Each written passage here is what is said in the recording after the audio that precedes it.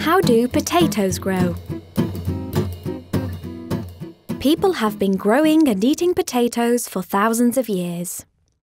Originally, potatoes came from the Andes Mountains in South America. Now, here in the UK, they are one of our favourite foods.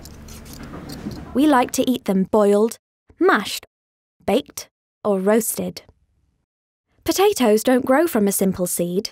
Instead, they grow from a seed potato that looks like this. The seed potato has small sprouts on it ready to grow. First, this machine has to prepare the soil in the field. It mounds the soil up into ridges.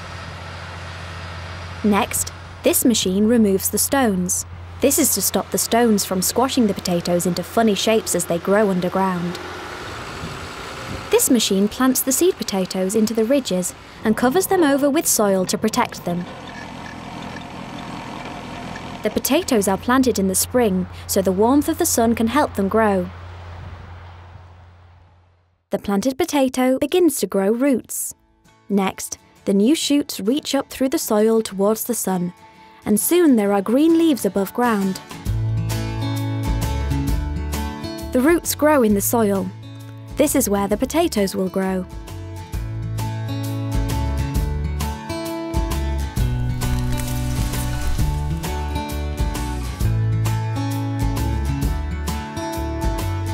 With good soil, plenty of water and sunshine, the plants have everything they need. The farmer leaves the potato plant to grow until they are ready to harvest.